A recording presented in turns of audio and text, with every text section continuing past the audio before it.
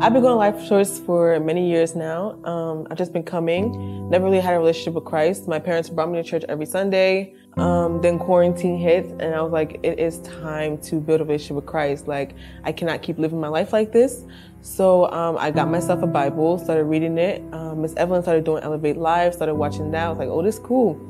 Um, then Deanna used to always ask me like, where am I going? So, yeah, because we like we used to FaceTime like every single day, and so she used to leave like every Wednesday. I'm like, okay, so where are you going? Like, and so she sent me the link to Elevate Live, and I'm like, okay, I, I love this. I love this. Like we're learning about God, and so I started going every Wednesday that they had it, and I loved it.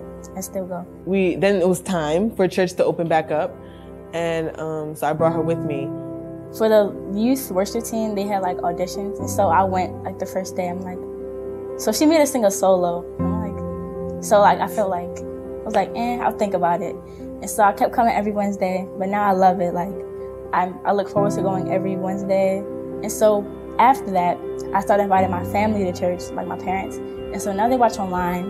And then after that, I sent it to my grandmother, and she loves it. Like she talks about it like all the time.